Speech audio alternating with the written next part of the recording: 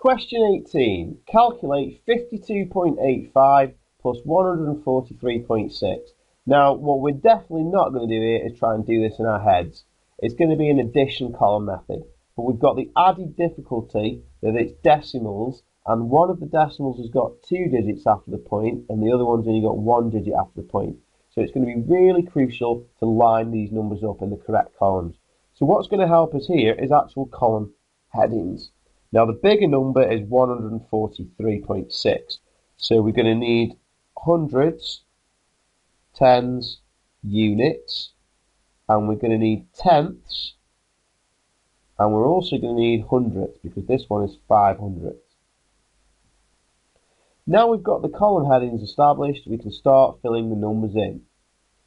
So we've got 52.85, so 52 is 5 tens and 2 units, and then we've got the 0.85, and 143.6 is 100, 4 tens, 3 units, and then we just put the 0.6 in.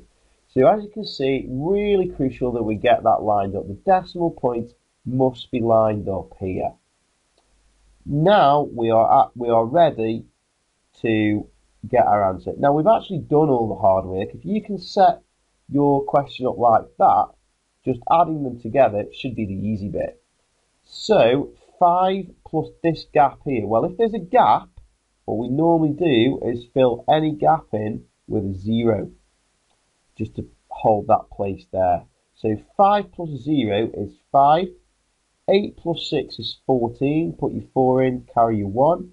2 plus 3 is 5. Plus that 1 is 6.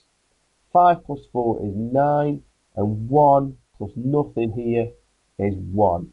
The only thing that we need to do now is put our decimal point in, and all the decimal points need to line up, so our decimal point needs to go in there. So the final answer for your answer box is 196.45. Crucial thing about that question is lining it up in the correct columns, so don't forget to use your column headings.